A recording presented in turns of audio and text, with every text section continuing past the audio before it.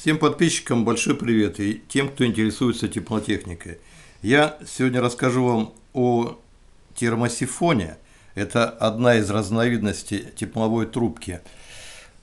Ее интересном свойстве термосифона – это пропускание тепла а, от одного конца до другого только в одну сторону. Это свойство диода, то есть пропуск э, тепла в одну сторону.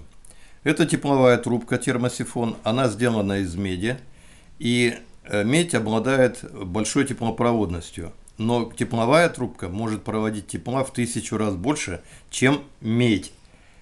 Она заполнена у меня небольшим количеством легко кипящей жидкости, это ацетон. И я вам сейчас покажу, э, какая разница в проведении тепла от одного конца до другого при эксперименте. Мы зажигаем горелку.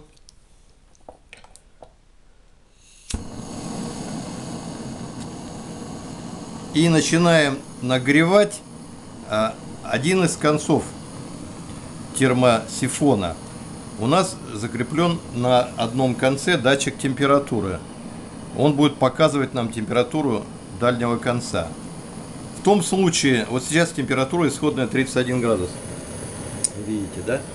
Если я нагреваю э, конец, который находится выше, у нас датчик внизу, то температура у нас не меняется почти. Вот я ее грею, видите, температура у нас остается неизменной. 31 градус. 31 градус. Ну, немножечко, 30, 31 градус. Как только я переворачиваю этот термосифон э, вниз концом, смотрите за температурой. Вот я уже не могу ее трубку держать. Видите температура.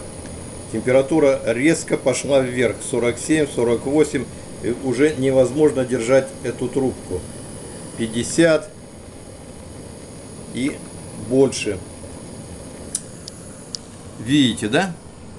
А если у нас конец находится нагреваемый выше, то э, наш теплоноситель не перетекает в нижний конец трубки и не вступает в теплопередачу.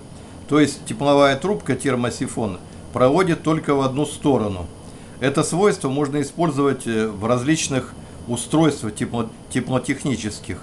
Э, всякие рекуператоры, и дальше я его покажу, где я буду его использовать. Это свойство э, тепловой трубки как э, термодиода, то есть она проводит тепло только в одну сторону. В ту сторону, когда значит, конец трубки находится выше приемника тепла. Это термодиод или важное свойство тепловой трубки. Спасибо всем за внимание. Э, и я надеюсь, это будет для вас интересно. Подписывайтесь на мой канал.